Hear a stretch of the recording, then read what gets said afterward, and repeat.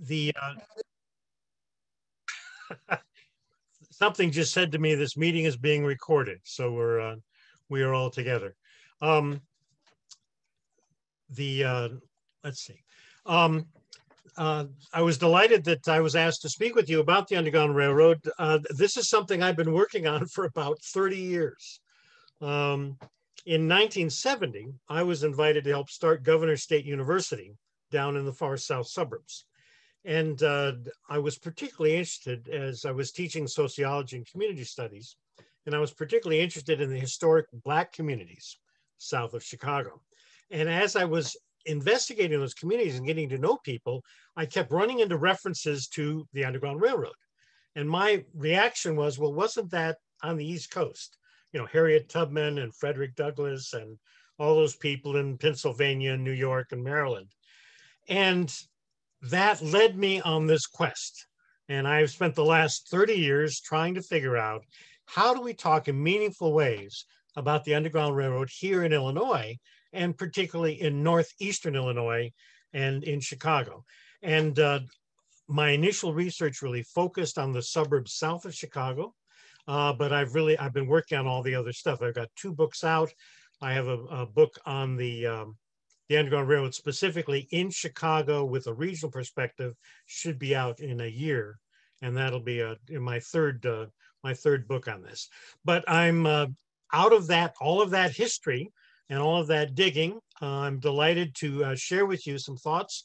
And I'm going to tell, give you a lot of stuff. I've got a bunch of images. I'm going to tell you a couple stories. And then um, we'll have time for some questions. And I'd be delighted to respond to those. And uh, Hillary will be managing, managing the questions. So um, let's get ourselves going.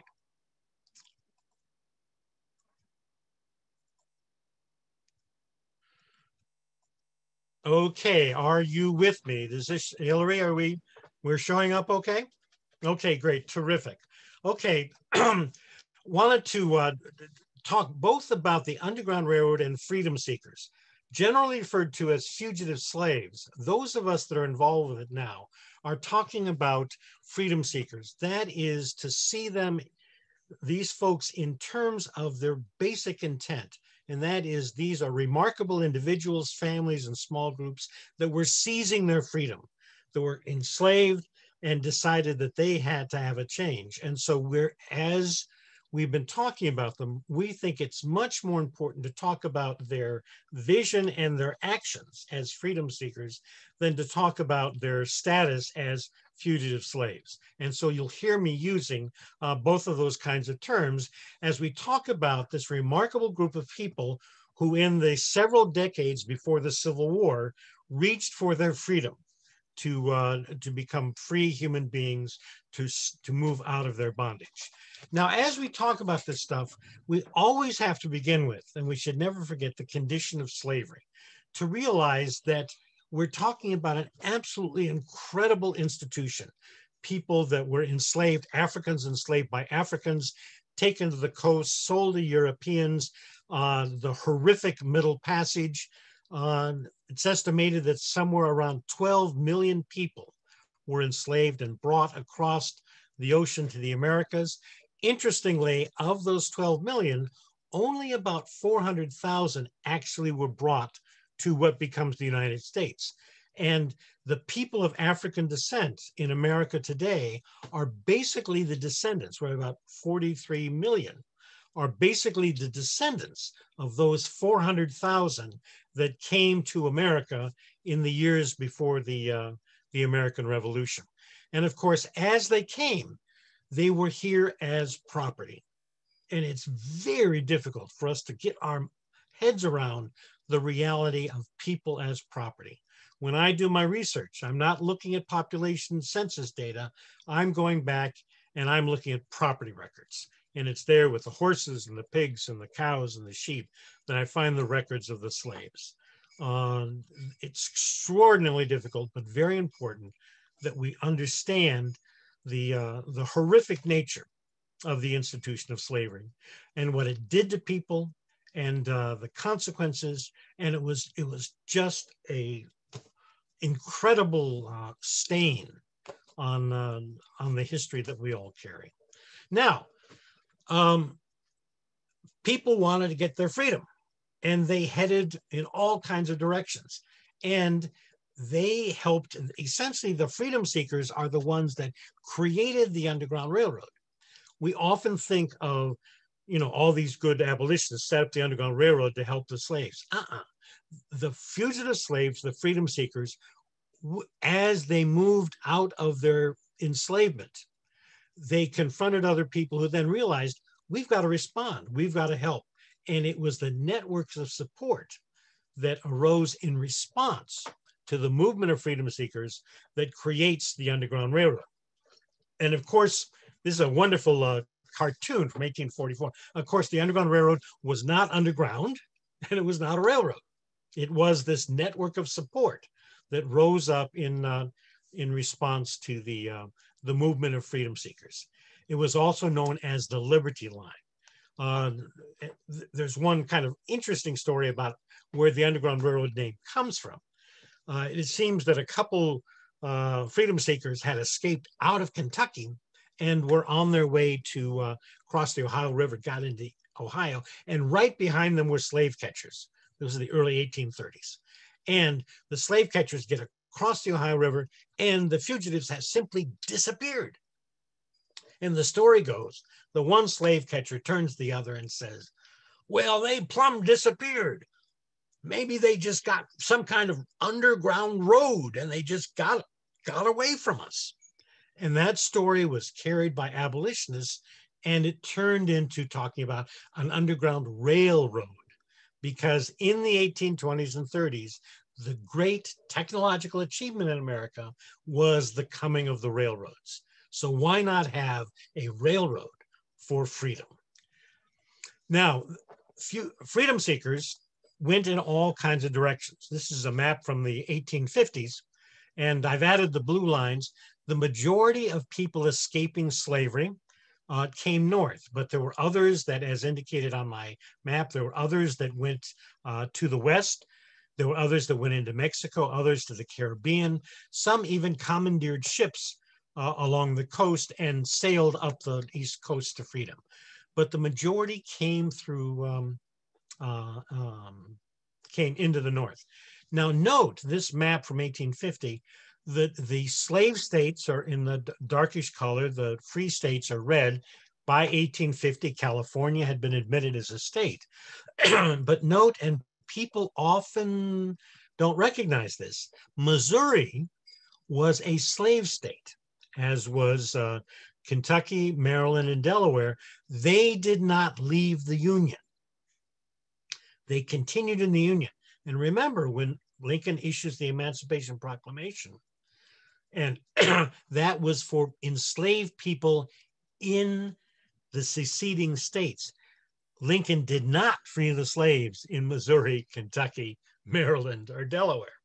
Note also that uh, here, um, Missouri has hundreds of miles of border with the free state of Illinois and the free state of Iowa.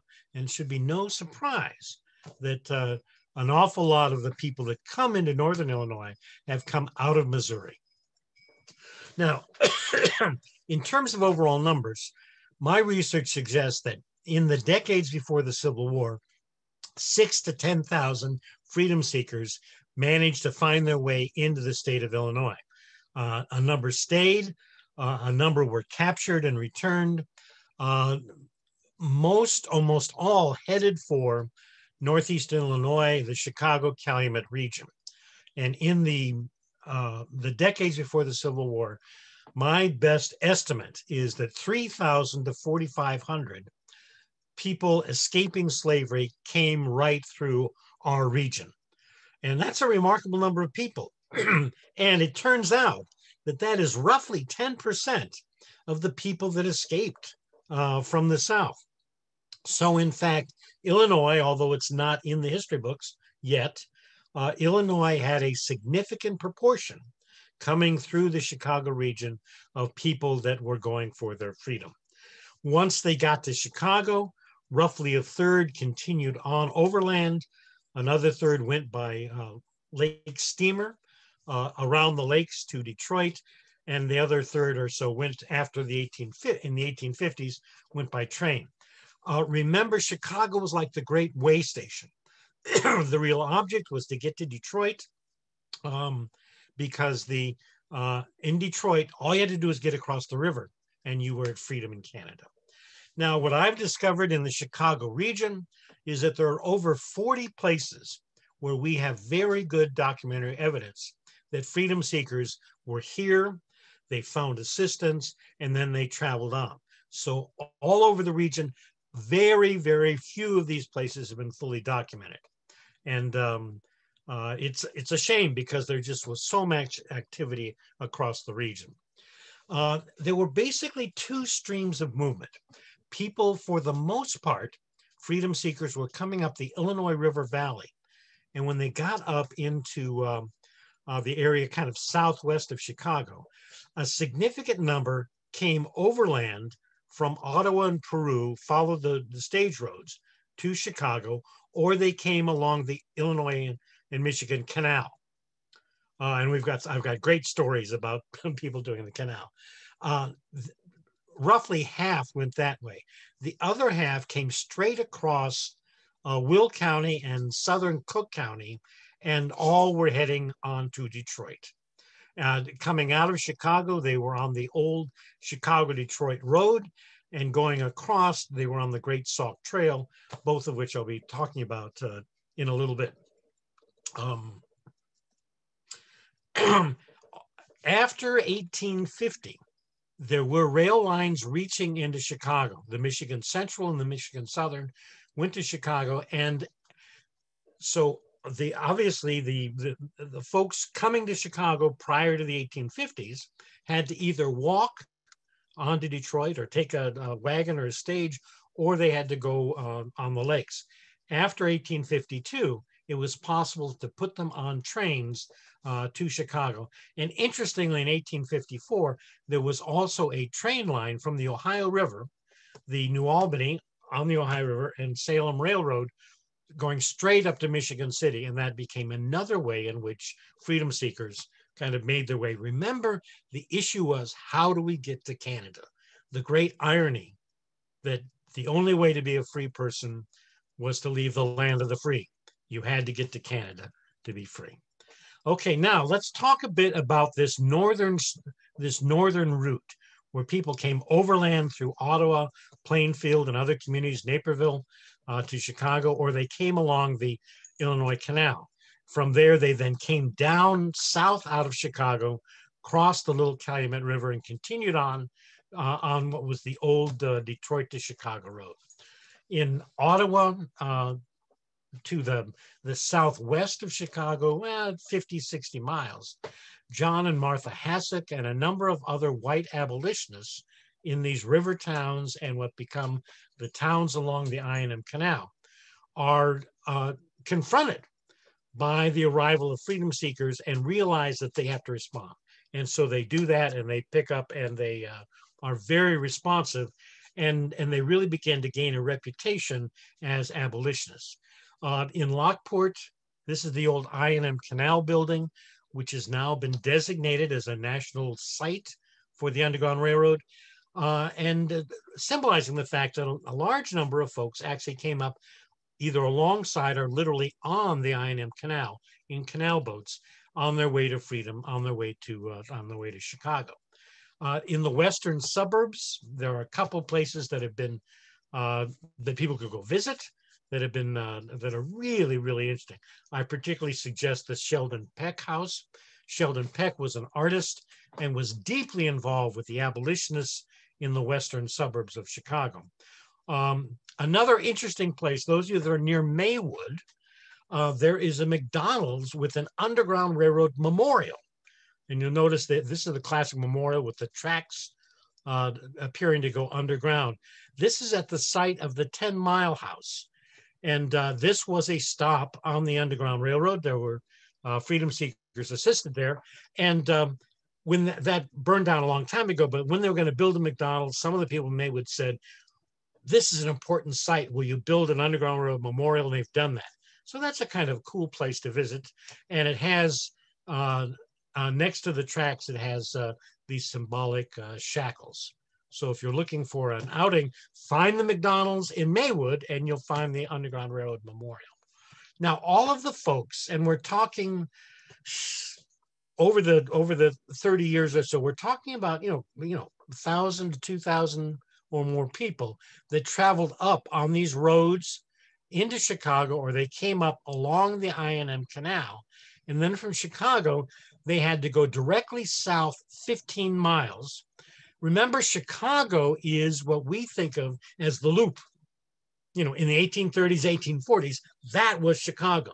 And so to go down what today is the southern edge of Chicago was actually 15 miles of open country to go down. They crossed the Little Calumet River. Those of you that know the area might know the Indiana Avenue Bridge crossing the Little Calumet. It's right next to where the Metro Electric crosses the Cal-Sag Channel. That was the site of the Chicago to Detroit Road, and literally hundreds of people traveled by foot and uh, by by coach and by wagon straight south out of Chicago to cross um, the Little Calumet River and head east toward Detroit. Now, in Chicago, a remarkable group of white families developed responses to the needs of freedom seekers. They were led by uh, uh, Charles and Elizabeth Dyer. Uh, you may know the name Allan Pinkerton, who becomes the great detective, was very involved with them. And what's striking is that in the early 1830s, as Chicago is this tiny community, a group of young white families begin to respond to the arrival of freedom seekers and they become strong activists, strong abolitionists. And these are folks, all these families, they're in their late 20s, their early 30s. And they really develop and then maintain for two decades a commitment to be of service to people that are coming through. They also become the heart of the abolitionist movement uh, in Chicago. Interestingly, as a footnote for those of you that are interested in uh, the history of Judaism in Chicago, uh, in the 1850s, there were some very serious abolitionists uh, were involved in Lincoln's campaign. Uh, two brothers, Michael and Henry Greenebaum, were very involved. We have evidence of one instance where um, uh, Greenebaum is, it appears that he was providing assistance for freedom seekers. And so the early Jewish community had an, an abolitionist orientation for the most part, but also there is intriguing evidence that some folks were actually uh, had some involvement with assisting freedom seekers. Now, part of what's really curious is that um, after 1844, there was always a very small Black community in Chicago, but after 1844, a remarkable group of Black leaders emerge and they really take over the running of the uh, Underground Railroad. And they work in close collaboration with all of these white radicals that have been providing help. Some of you may be familiar with the stories of John and Mary Richardson Jones, um, uh, John Jones, the first man of color to be elected uh, to an um, office in Cook County in the 1870s. Uh, assisting them were uh, a number of families, Emma and Isaac Atkinson, uh, remarkable families, uh, Henry and Susan Wagoner, Barney and Julia Ford, and others. Some of these folks were mixed race folks, but all of them identified themselves as part of Chicago's Black community. And uh, what is really important to recognize is that traditional Chicago history sees um, good white abolitionists helping the Black fugitives. And we need to understand that that history has to change. That in fact, after the after 1845, it was Black leadership that was really providing the direction and the energy, the force, and the resources to be assisting the freedom seekers coming through. And a lot of that energy was focused in two historic churches Quinn Chapel, which started in the 1840s, and Zoar Baptist Church started in the early 1850s, which becomes Olivet Baptist uh, on, uh, on King Drive, becomes one of the largest Protestant churches in the world in uh, in the 20th century. But but the really powerful thing about Chicago is this uh, tremendous black and white biracial activity, and some would call this the first real civil rights movement in American history, with blacks and whites working together to help the freedom seekers coming through. And now remember, people getting to Chicago, the issue was to make tracks to Canada, either to go via the lakes or to go overland. And let me assure you, I've got dozens of stories about all of these, all of these things. But to turn back to the territory, remember that those folks that were in Chicago had to go due south. And consider we have a couple a couple examples of people that made it to Chicago and really were anxious to get freedom and then to be told they had to go south for freedom was a little disconcerting but essentially they had to go south 15 miles to cross the little calumet river right here at the indiana avenue bridge and then to go on through the south suburbs uh, over into northwest indiana and then northeast toward detroit and to freedom in canada now at that particular place that is here in this area. Uh, Dutch settlers come and they establish what becomes Roseland, kind of across from Lake Calumet, and what becomes the community of South Holland, which is down, which is down here. And key among those Dutch settlers were the families of Cornelius and Mary Kuiper and Jan and Antje Ton. Uh, they were among the few Dutch settlers that spoke English and they had come out of a situation of religious oppression and um, uh, were, were very interested in being supportive to and responding to the needs of freedom seekers. Uh, I've done a tremendous amount of research on these Dutch families and the Ton Farm, which was right on the Little Calumet River, which is now the Cal-Sag Channel, was an established site where freedom seekers came, they were kept overnight, and they were taken by wagons uh, onto um, uh, onto uh, Indiana, Northwest Indiana, and then toward Canada. Uh, we've done a lot of research on the Ton Farm and their assistance the Dutch farmers provided. And today, the site of the Ton Farm is on a remarkable institution called the Chicago's Finest Marina. It is a the historically the oldest black-owned marina in the Chicago region and is now owned by a group of retired Chicago policemen, hence the name. It's now become Chicago's finest marina. When we do tours, remember when we used to do tours before before COVID? Um, uh, one of the places we centered our tours on was having people here and, and my telling a series of stories about how freedom seekers were assisted right here on the edge of the Little Calumet River. And so again, to kind of focus on that, there's Lake Calumet. The Kuiper home was up here. The Detroit to Chicago road came straight down, came across, and what is today Michigan City Road was, of course, um, the road that went to Michigan City on the way to Detroit. That was the old Detroit to Chicago road. The Ton Farm was right on the river. Um, there was Dutch settlement here in Roseland, and then Dutch settlement down here in what becomes South Holland. And an interesting, interesting twist to this story about the Ton Farm. In 2011, I was approached by a young man named Tyrone Branch, who said he would love, as an Eagle Scout project, he would love to do a memorial to the Dutch farmers that helped freedom seekers. And so Tyrone, with his family, organized this remarkable group of a biracial group of white families and black families. They got together, they involved urban gardeners, a white gardening group and a black gardening group and other people. And they established this memorial to the Ton family. This is located on the property of the First Reformed Church uh, in South Holland, huge church. It's on South Park Avenue. And the church, which the Ton family and the Kuipers helped to establish in the 1850s, the church graciously gave uh, Tyrone the use of a small plot of land so we could establish this memorial garden. Uh, so that, you know, the stories are just endless. I could spend a whole hour talking just about the Ton Farm. Now, the other, so we talked about a whole bunch of freedom seekers came up out of the center of Illinois, uh, up the, the I&M Canal and up overland to Chicago.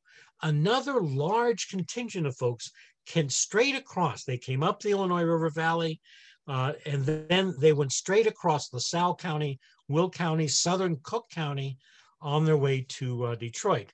And they were in the corridor of what's known as the Old Sauk Trail. And the Old Sauk Trail, hundreds of years old, was, a, was an early, uh, heavily used Native American path from the Mississippi River to Detroit. And it was used by Native peoples traveling back and forth to Detroit to deal with the French and the English and then the Americans.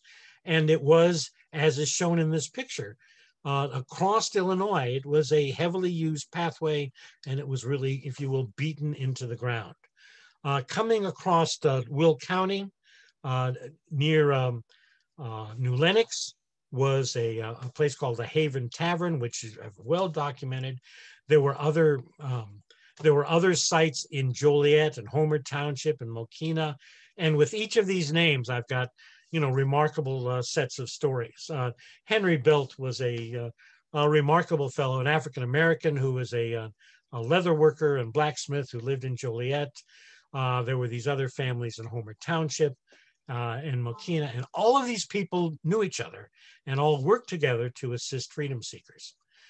so to give you again a kind of a sense of things in the in the South region, remember that that Detroit to Chicago road came south out of Chicago was just way up north, came across the Little Calumet River, came into Northwest Indiana, and that is the old uh, Detroit uh, to Chicago road. Then the Sauk Trail came across uh, Will County, then into the southern edge of Cook County, and there were a number of places in Park Forest and in uh, uh, uh, South Chicago Heights where there were families that were assisting. Uh, most importantly, in this whole bunch, there were a group of families, what is called Beebe's Grove, which is now part of Crete, but it's at the kind of the eastern edge of the village of Crete. And there, a group of uh, uh, farmers got together. They formed a congregational church, organized in 1839. In 1842, they issued one of the first statements in Illinois on church resolutions on opposing slavery. Very, very strong denunciation of, of uh, slavery coming out of this small congregation. They then worked with a number of freedom seekers coming across, and uh, this uh, church, built in 1853 and right in the middle of Crete, uh, has now been designated along with the ne nearby cemetery. You can see the church in the background there. Uh, this church and the cemetery are now on the National Park Service Network to Freedom national listing of significant Underground Railroad sites. And of those 40 places that I've identified in the Chicago metro region, there are only four or five that are on this list. We've got a lot of work to do. Some of you want to do some work, let me know. We've got a lot of work to do to get more of these sites uh, on the uh, uh, on the list. Um, Hillary, my clock says 7:30. Is that correct? Is that right? Okay, we're on time. Thank you. Um, okay, so um, this particular congregation in Crete will bounce back up in another in another minute or two. So then, in addition to the uh, the work here in um, um, along the Little Calumet River and the Dutch settlement people, and the folks on the Sauk Trail here in Park Forest and Richton Park, there also are a number of specific sites that I've been able to identify across Northwestern Illinois. So if you want me to come back sometime and talk about Northwestern Illinois, I'll do that. But there's a whole bunch of stuff we've learned not only about the immediate Chicago area, but also about activity in North uh, Northwestern Illinois, again, of people, for the most part, uh, white families, but there are a couple really fascinating examples of Black individuals and families that were helping uh, freedom seekers to get on their way to uh, to Canada. Uh, the whole range of stories. Um, um, but remember that that folks were traveling, coming up the Illinois River Valley, coming into Chicago or the Chicago region, going on because the issue was, how do we get how do we get to Detroit? Okay, now, uh, interestingly, by the time of the um, uh, the outbreak of the Civil War, there were a handful of um, of uh, African Americans living in uh, northwestern Indiana. There were probably by 1960, probably close to a thousand African Americans living in Chicago, and all of them were deeply involved in assisting freedom seekers. Now, I have the lines on the map here because uh, freedom seeker stories are, at essence, journey stories. People that have found the courage and the opportunity and the good fortune to be able to escape from their situation and head toward, in our case, toward Chicago, and then for Chicago going on to um, on to freedom in Canada. And you can see that I've got four or five lines on this map. I could put a couple dozen lines. I have that many really great stories about people. The first really remarkable story I want to share with you is that of Caroline Quarles. Uh, Caroline was uh, in 1843. She was 16 years old and living with a living with a family. She was a slave, and of course they were free. She was the daughter of her master's son and a slave woman in the household. She grew up in this house with her cousins, and she played with them, and she was very close to them, and they were all free human beings, and she was enslaved. Finally, at age 16, she had had enough and she decided to go for her freedom. And so here you have this, this beautiful young woman, long black hair, blue eyes, freckles, very light skin, easily could pass as a white person, but she was enslaved. And at age 16, she had had enough and she decided that she was going to grab her freedom. Interestingly, Caroline came out of the Quarles family, who were very proud of their Revolutionary War heritage. Her great grandfather, her white great grandfather and great granduncle, had served with George Washington in Valley Forge. They had, in the early, uh, uh, about 1815, they had moved from Virginia to St. Louis and there had acquired slaves and all that. But they were very proud of their revolutionary heritage. And here is this young woman who is enslaved because she is a black person, but she is of this white family. And she decided she was going to go for her freedom. And uh, remember how important that revolutionary fervor was. So Caroline goes down to the dock at St. Louis, passes as a white person, buys a ticket on a riverboat, and takes the riverboat uh, north to Galena in Illinois. And uh, uh, on the riverboat, she mixes with these other young white women, and uh, and she just kind of passes. But the alarm is out in uh, St. Louis, and their slave catchers are after. She gets to Galena. There's one white guy, one I'm sorry, one black guy uh, lives in uh, Galena. He sees Caroline on the street and said, "You're passing. You're in real danger. You got to get out of here," because he knew the slave catchers were on their way. So uh, they this guy puts her on a, the first stage out of town, and she ends up going to Milwaukee. She was the first fugitive slave they'd seen in Wisconsin, and nobody knew what to do. There were people who were abolitionists, but they really couldn't figure out what to do. And there's a whole series of adventures in and around Milwaukee where they're trying to figure out what do we do with this beautiful young woman who's got to get to freedom in Canada. Finally, one of their one of their members decides he will be her escort. They borrow a buggy and he takes off and they leave uh, uh, the Milwaukee area and they come down around Chicago to avoid the slave catchers in Chicago. And they come down through Dundee and uh, Naperville and Lockport, uh, New Lenox, Beebe's Grove, which is um, um, uh, Crete. And remember that church that got started? she Caroline stays with the people that had started that church in Crete and uh, has a wonderful encounter. This absolutely remarkable woman. She then goes on from there. They travel on to uh, Detroit, uh, get to freedom in Canada. In Canada, she um, uh, falls in love, marries a fellow who had escaped from Kentucky. They have six children, and their descendants today live in um, uh, around Detroit on the Canada side and on the American side. And I've had the deep honor of getting to know some of her family very, very well and some absolutely remarkable people who are the direct descendants of Caroline Quarles. One of them is a woman named Kimberly Simmons, who is Caroline's sixth generation granddaughter. And with Kimberly, I've uh, written a book, the story of uh, uh Caroline's Caroline's life. But can you imagine, 16 years old, 1843, she travels like 1,200 miles to get to freedom in Canada. Uh, just a remarkable, remarkable young woman. Can you imagine at 16 having that kind of courage? In 1841, John and Eliza Little uh, were on adjoining farms in Western Tennessee. They met, fell in love, and got married. Realized that um, as enslaved people, they uh, there was no future for them. If they were going to have a family, they might lose their children.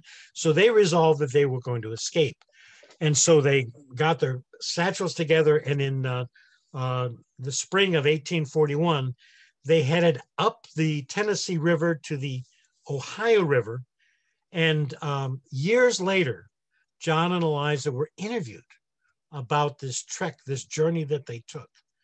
And John and Eliza, they were coming up the um, um, the Tennessee River to get to the Ohio River. And as they approached the Ohio River, they came into an area of a real swampland area. And, and John remembered years later, he remembered when we got to that swamp that he, that he put Eliza on a log. And he said, I put everything that I had all that we owned were in two little satchels, and I put them behind Eliza on that log, and I pushed that log through the swamp. And I knew that if I made a mistake, everything that I loved would be lost. And he got through the swamp, and they got to the Ohio River, and they they borrowed a um, a boat that was small boat that was there, got across the Ohio River, and came in exhaustion to the Illinois side of the river. They knew they were in Illinois and they weren't sure what to do. They ran into some other freedom seekers who were very discouraged and said, Yeah, man, what are we going to do? Maybe we should, you know, turn ourselves in. We're close to Cairo. We could turn ourselves in. And Eliza Little said, I know where I have been and I know where I must go to be free. I will walk barefooted to Chicago if I have to and John and Eliza Little did walk 370 miles up Illinois to, to reach Chicago. And then from Chicago, they walked that other 200 or so miles to get themselves to Canada. And they came south that 15 miles out of Chicago and crossed the Indiana Avenue Bridge and walked on the Michigan City Road. And they made their way to freedom in Canada. John Little was an absolutely remarkable man. All of his life, he was proud of his blackness. He was beaten. He carried shrapnel in his shoulder for his whole life because he was once shot. And John Little always said, I do not have a drop of white blood in me. I am a son of African princes. Know, what a what a remarkable couple. They made their way to Canada and had a very successful farm there. The final story I want to share, and then you might have some questions. The final story is about Henry Stevenson. This is a picture of Henry when he's about 95 years old. But in 1850, on the farm next to Henry, there was a couple named um, uh, uh, John and uh, no, not John, William, William and Martha were an enslaved couple that had gone for their freedom, and this was in central Missouri. So they had gone to the Ohio, the the Mississippi River up the Illinois on their way to freedom. Well, William and Martha's owner came to Henry Stevenson's owner and said, You've got to help me. The owner's name, by the way, was Uriah Hitch. Isn't that a great, good bad guy name? So Uriah Hitch came to the owner of Henry Stevenson and said, You have got to go with me and help uh, retrieve my slaves and bring Henry along because Henry's a really bright guy and he could help in the search. And remember that in, in very generalized terms, an average slave was worth 800 to $1,000. In today's money, that's fifteen to twenty thousand dollars. So for William and Martha to take off, you know, man, forty thousand dollars just walked off the farm, and so there was a real incentive to get that investment back. And so Uriah Hitch and Henry's owner and Henry took off. They went by horseback to St. Louis, and every place they went through, they stopped. You know, they had brochures, and Henry would talk to the the black people, and uh, and they got to St. Louis, and Henry went and talked to the black community, and he came back. He said, "Listen, I found out they've been here, but but William and Martha are on their way to Chicago. We got to go to Chicago to catch them." And so the two white guys were really thrilled with this news. They get on a packet boat to Alton. They go on, they take a river boat up the Illinois River. And every town, significant town, they stop, they get out, they circulate their flyers, they go talk to the sheriff and all that. Henry goes and talks to the black people. And he comes back and he says, Well, these people ran into William and Martha. They came through here. We're on the right track, but they're headed for Chicago. So they get up to Peru and Ottawa and they get on the I&M Canal. And they're on a canal boat. And again, every time they stop, they get off, circulate their flyers. Henry talks to any black people he can see, and he always comes back. William and Martha are on their way to Chicago. And as they're on the riverboat, on the canal boat, um, there are these Irish workers along working on the canal, and they see Henry, and they say, "Hey, hey, fella, you're in Northern Illinois now. You're you can be free. Just run away. You can be free here. And Henry say, No, no, no, no. I'm working for my master. We're looking for William and Martha. I gotta get get to Chicago to find William and Martha. And so finally, the, the two white guys and Henry arrive in Chicago. And of course, they're very proud of Henry because he's done such great research. So Henry says, All right, I'll go look. I'm sure I can find William and Martha and he gets off the canal boat. He walks over, and there's a bunch of people there waiting for the boats to come in. And there's a black guy up on a wagon, and uh, and he says, "You need to ride into town." And Henry said, "Yes." So he gets up. The black guy turns to Henry and says, "Well, what are you doing?" And Henry says, "Well, I'm here looking for people." And the guy says to Henry, "Do you want to be free?" And Henry says, "Well, of course I want to be free." And so the guy says, "I can help you." So the guy takes Henry to the abolitionists probably the black abolitionists that were running things in Chicago. And they said, Henry, we can help you, but we're really low on money. And Henry says, Money, I can get money.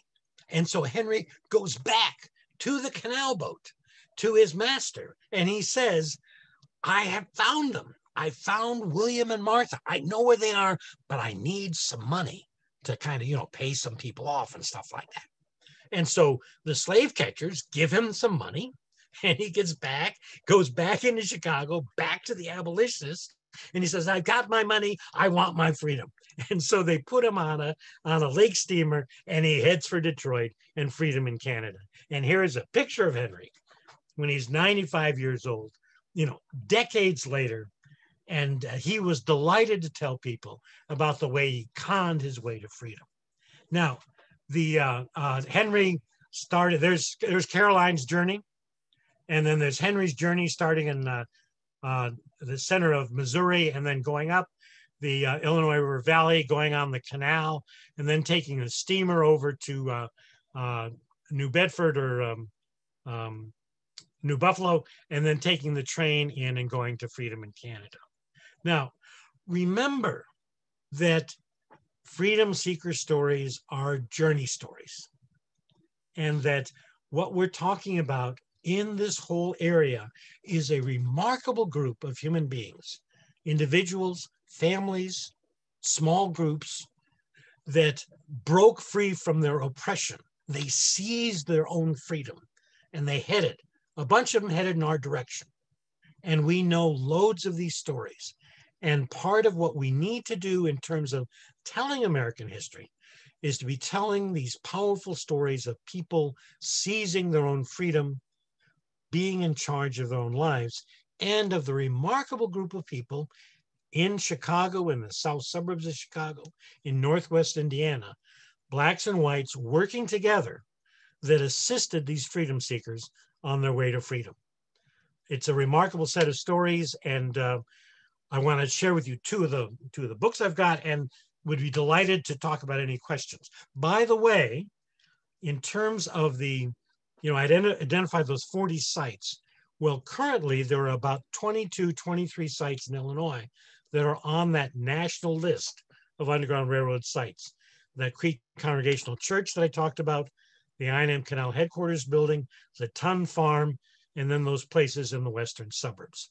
Um, so if you want more information, I'd be delighted. You can uh, order these two books at thorncreekpress.com.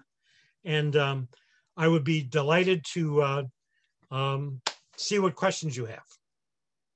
Hillary. Larry, thank you so much. That was really quite interesting. Really, really quite interesting. We've got quite a few questions already. If you have a question, please put it in the chat box and as time allows, we will get to them. Larry, if you want to stop sharing your screen, that would be great. There we Thank go. You. Thank you so much. So Susan and Lynn both asked the same question. They want to know what prompted you to study and learn so much about the Underground Railroad. Uh, it, it's a long story. The very short version is that when I was in college, I was involved in the civil rights movement, and I ended up spending a year studying at the University of Ghana in West Africa in 1964 65. And it became very clear to me that a good chunk of my life had to be devoted to figuring out this business of what it means to be white and what it means to be black in this country. And so I've been involved with racial justice issues for 60 years. And uh, the my academic work just kind of flowed from that. And then, as I indicated at the very beginning, when I started teaching in the South suburbs and was interacting with the Black communities, I began running into the references to the Underground Railroad and realized this is something that nobody knows anything about. And uh, so, and hopefully, when the my final book is um, uh, I'm working with the University Press right now on the, my final big book. And when that is out, I think we will then be able to really change the history of all of this stuff and really talk about the, the power of uh, um, the Black community and these remarkable stories. Karen says, as far as freedom seekers leaving Missouri, to what extent were their journeys part of an organized effort to help enslaved people by abolitionists or others versus individuals who decided to flee on their own? Well, that's a, that's a great question. It really evolves over time, but the, the heart of it is that um, freedom seekers people enslaved make decisions to go for their freedom. And that over time, varieties of networks develop in response to that to those decisions. And, and for example, the great story, and you may be familiar with this, you know, one of the great stories of the Underground Railroad is the great raid where John Brown goes into Western Missouri rescues these 12 people, takes them on a train across Iowa and um, um, and Illinois. They come to Chicago. John Brown is helped by by Allan Pinkerton and others, and they get the folks on a train to to Detroit and freedom. Well, the story is always told backwards, because in reality, what happened was there was a fellow named Jim um, uh, Jim Daniels Jim and um, Narcissa. Jim and Narcissa Daniels were enslaved in Western Missouri. Jim decides they have their children are about to be sold. And so Jim decides they got to get free. And so Jim, it's a very complicated story, but Jim essentially ends up visiting in um, um, in uh, Kansas runs into people who are friends of John Brown's. Jim Daniels asks for help. And then, in response to Jim Daniels asking for help, John Brown comes in. And then you have the whole story of this great transition of John Brown and his henchmen carrying these, guarding these 12 uh, um, uh, freedom seekers on their way to Chicago. But when they get to Chicago, they don't go to Allan Pinkerton. And again, all the stories say they went to Allan Pinkerton. They didn't. They went to John and Mary Jones, who were the head of the Black community in Chicago. And it was the Black community that helped John Brown and that helped these uh, people uh, for several days. Then they invited Pinkerton to provide assistance. And then Pinkerton gets involved and all that. But again, it's a the the, the issue we have is that historically we always want to talk about the underground railroad as this big structure that was helping people. No freedom seekers went for their freedom and as over time networks of support developed. So they created the underground railroad not the other way around and that's really important to see um, Eddie is asking what roles, if any, did Chicago area Jews play in the Underground Railroad? Well, as I indicated, the uh, my research suggests that there was there was a small Jewish community uh, starting in the late uh, in the 1840s, and uh, they became uh, some of the leadership in that small community became very involved within the abolitionist movement and then in the development of the Republican Party there were a couple people that were allies of Abraham Lincoln. And we have found in the records, and the research is in weird places. It's in family records, it's in newspapers, it's in old county histories. It's a very, very eclectic sources. But in those sources, I have uncovered one reference that indicates that one of the leaders in the 1850s, Henry Greenebaum, uh, was directly involved in at least one case of directly assisting a freedom seeker. So, what we can say for sure about the small Jewish community is there was leadership that was very involved in the abolitionist movement, but most of those folks were not part of the Underground Railroad. There were only a handful of activists who were breaking the law in terms of the Underground Railroad. And we think that a couple of those uh, early Jewish uh, activists may have been involved with the Underground Railroad. And there's always more evidence to find. If somebody out there knows things, please tell me. Every month I learn something new. By the way, let me, one thing I, I did not talk about, but just to point to, remember that in 1850, the federal government institutes nationally the fugitive slave law. And that dramatically uh, changed the situation, made everything much more serious. And I forgot to mention that. Just a reminder that all the questions should come in the chat box. We're, we're not unmuting anyone. Um, Barbara asks, what were the repercussions for those who helped the freedom seekers, especially those who were of mixed race and those who were prominent whites? The uh, I just mentioned the the power of the 1850 fugitive slave law that really developed a degree of seriousness for everybody that was assisting freedom seekers, whether they were black or mixed race or white. Uh, the federal law said that you could be fined a thousand dollars for helping somebody, roughly the equivalent of twenty thousand dollars today, and uh, it was mandated that if you anywhere you lived in the country, if you um, were called upon by civil authorities to help apprehend fugitive slaves, you had to do that. And if you didn't, you could be fined. You could be thrown in jail yourself. Um, it was a very, very rigorous law. Uh, and so from 1850 on, for everybody, the consequences were, you know, could be very severe. Now, by the mid 1850s, the Underground Railroad is really an open secret in Chicago. And kind of everybody knows that there are people doing that. And the abolition opinion is strong enough that nobody's really going to get arrested. But the danger is there. And uh, there are some really powerful stories about where people got on the wrong side of the law. But uh, in terms of the illegalities, um, um, of helping fugitives, uh, whether you were were black or white, you know, you were in serious trouble. Now remember that the the part of the complication for this was that for black families living in Chicago, you always had the danger of kidnapping. There were organized kidnapping groups in St. Louis and in Southern Illinois. And they would, from time to time, make their way to Chicago and steal people off the street, take them south, and sell them into slavery. So uh, the consequences for everybody in this, although abolition by the mid 1850s, abolition is very strong. The laws are still strong, and it's all very serious. I hope that gets at the question.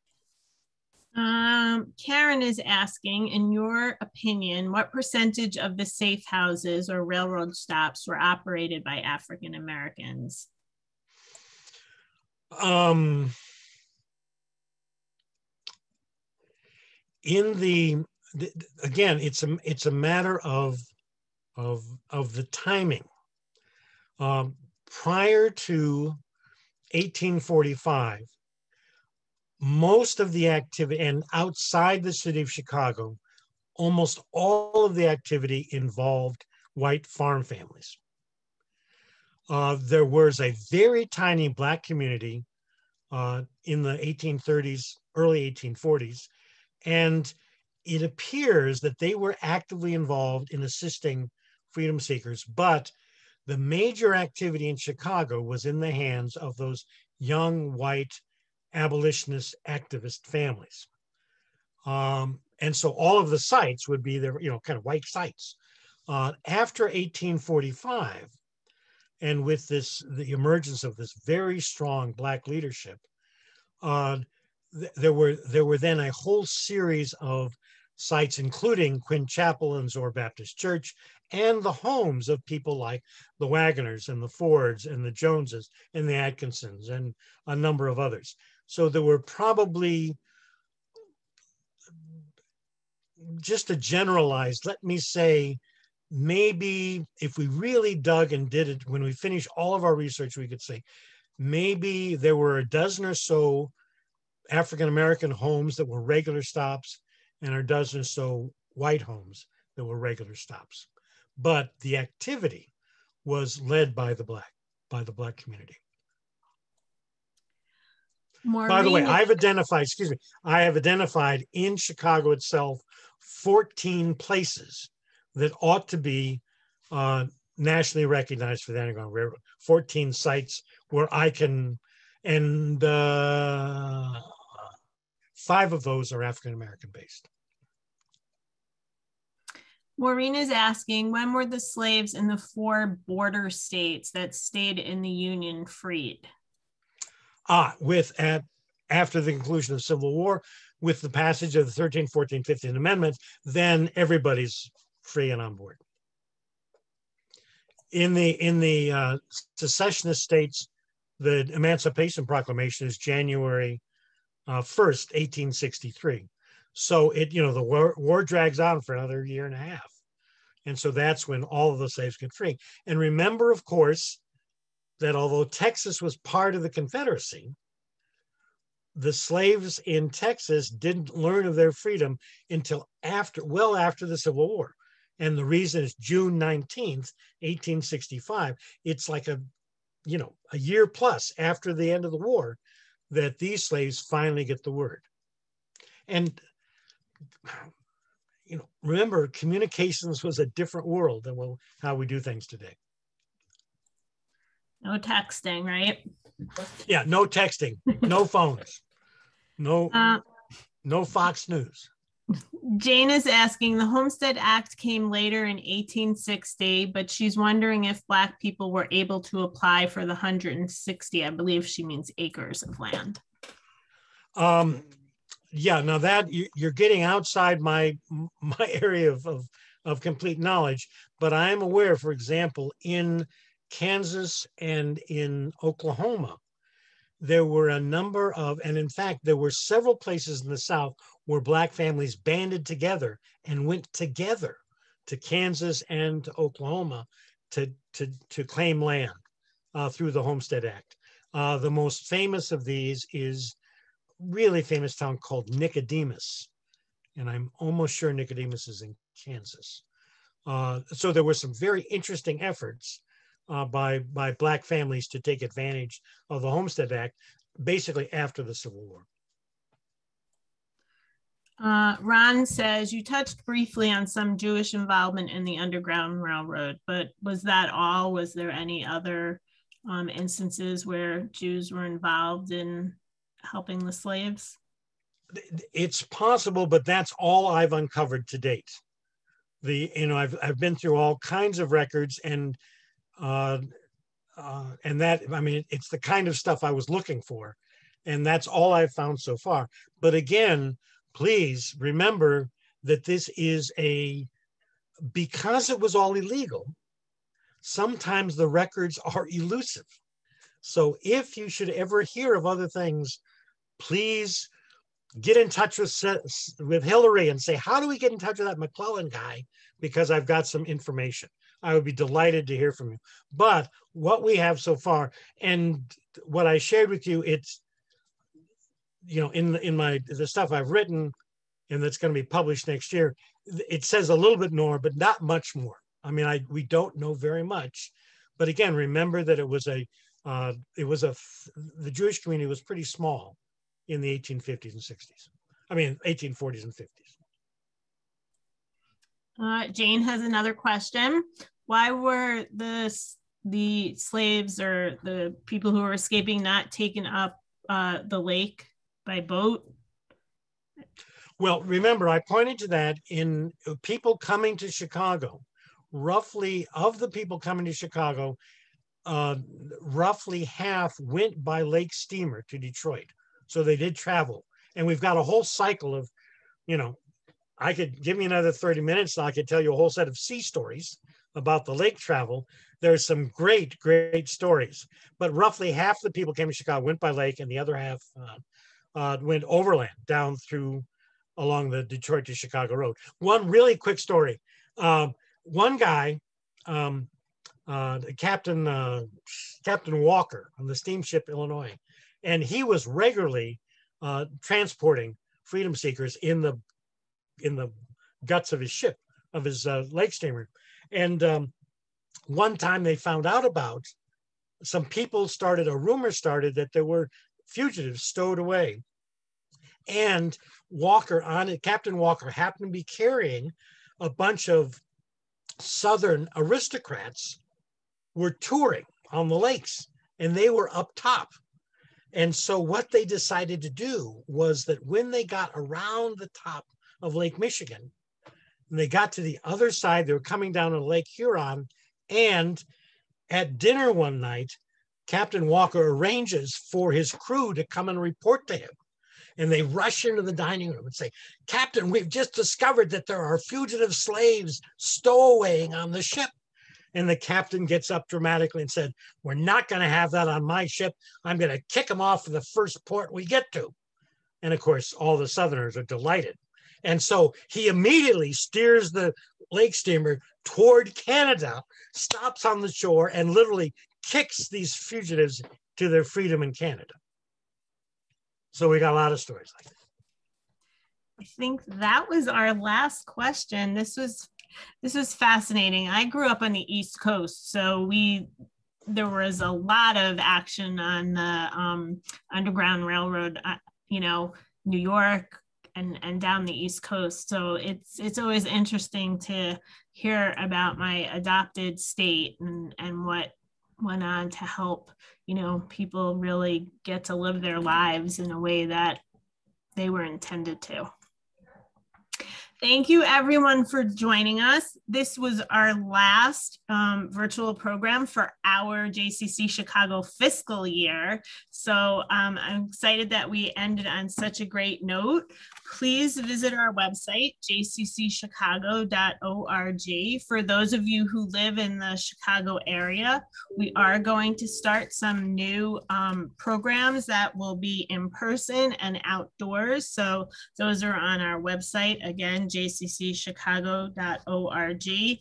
On uh, July 8th, we're having a visit from a um, Abraham Lincoln impersonator. So that should be really, really great. Again, you can find that on our website. Thank you everyone for joining us this evening. Larry, we really appreciate your time. Have a great rest of your week and a safe July 4th. Bye-bye, everybody. Bye-bye.